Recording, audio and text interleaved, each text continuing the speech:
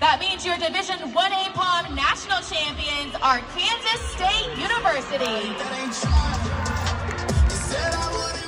K-State's Classy Cats have solidified their remarkable run for collegiate dance, placing first in Pom for the third consecutive year.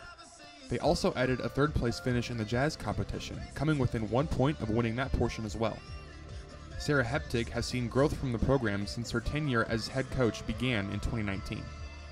And so it has been such an honor and such a blessing to get to grow with them over the past four years um, and watch our program develop. Watch from going dancing in the stands, um, not being able to be close to each other, to actually being able to perform in front of sold out crowds again. And um, everything that's happening at K State is just so magical. It's been an incredible experience. And the team depended on their upperclassmen for leadership and direction as they fought to stay grounded and motivated to continue their streak. Yeah, like I mean, my class is the representation of the growth of this team, really, where we started with winning our national championships. So just sharing that experience with them and staying humble.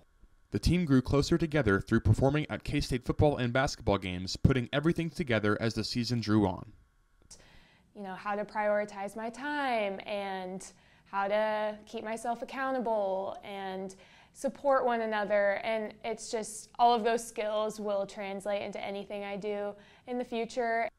The team grew closer together through performing at K-State football and basketball games, putting everything together as the season drew on. And everything like that. And so it's been extra special um, to have my classes that I've been able to see all four years, um, you know, move on. And I'm so proud of what they're doing. I'm so proud of how they've grown as humans and, and looking forward to continuing to see how they impact the world.